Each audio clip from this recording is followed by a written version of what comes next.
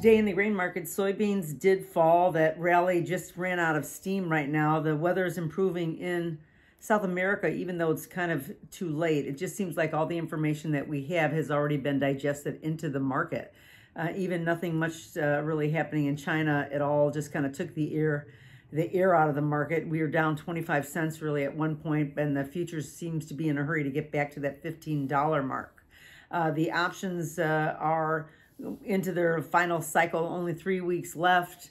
Um, the uh, open interest is uh, start is uh, continuing to build on the put side, and uh, that's you know perhaps uh, also technically kind of taking the market a little bit lower. The CVOL right now is at 16.4%. The oil is 25.7 and meal is 26.7. So the meal has now overtaken the oil as far as a higher uh, CVOL number. Now, corn was lower as well. I mean, the cattle inventory report is uh, the said that the herd is shrunk by about 3% right now.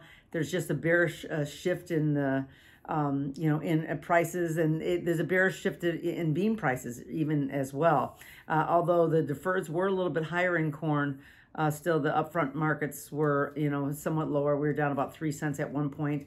Um, adding, uh, we sold about 700 of the calls on the open interest and 2,400 on the puts.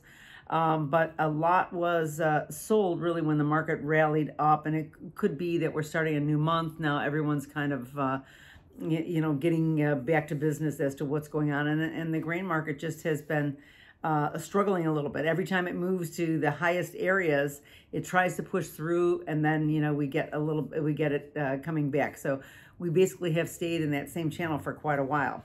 Uh, the CVOL for corn is at 19.4%, uh, so it's back under 20%.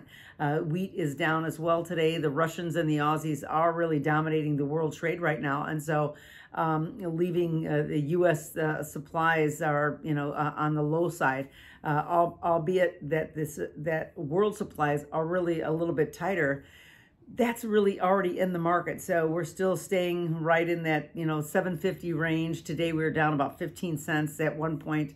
Um, option open interest, uh, you know, sold out about 1,100 calls and uh, sold even some of the put side right now. The CVOL for wheat is at 31.5%.